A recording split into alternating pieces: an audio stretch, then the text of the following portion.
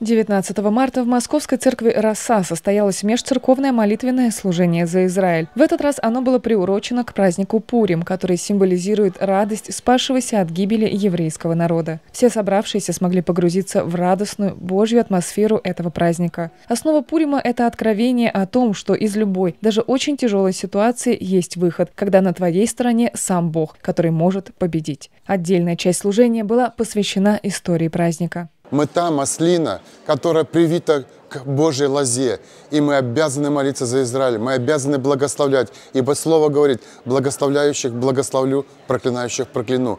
Поэтому мы благословляем Израиль, мы молимся за Израиль, мы молимся за единство, за святость, за близость. Э, за церковь, чтобы было ли объединение церковное, чтобы молодежь поднималась в этих молитвенных встречах, в этих молитвенных вечерах, славили Господа и благословляли народ израильский и землю Израиля. Мы продолжаем молиться до победы. Ждем. Господь победитель во, всем, во всех отношениях. И иногда нам нужно пройти очень сложный путь для того, чтобы сохранить веру до конца, что Бог заботится о своем народе. Он обитает в Израиле. Ощущение его присутствия просто потрясающее.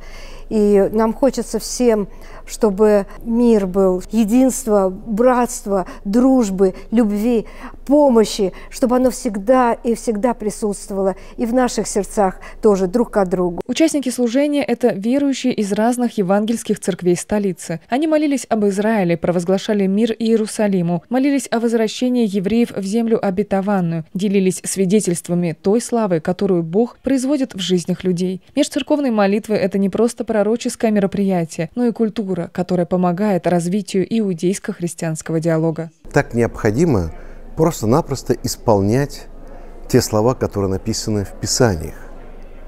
А я напоминаю, что там просто-напросто написано «Просите мир Иерусалиму». То есть это важно как и для Иерусалима, так и для тех, кто просит. Среди верующих принято говорить, довольно от многих можно это слышать, что нужно молиться за Израиль, потому что это несет благословение в жизнь верующих. Это действительно так, да и аминь. Но есть еще такая вещь, как беспричинная любовь, любовь безусловная. Для себя я выбрала такую позицию, что вне зависимости от того, правильно ли поступает Израиль, правительство Израиля в тех решениях, которые принимаются, нужно просто молиться за Божий народ, чтобы они были ближе к Богу, были ближе к заповедям Божьим, потому что самое главное лекарство от антисемитизма – это вера в Бога. Канал «Две маслины лайф. Москва».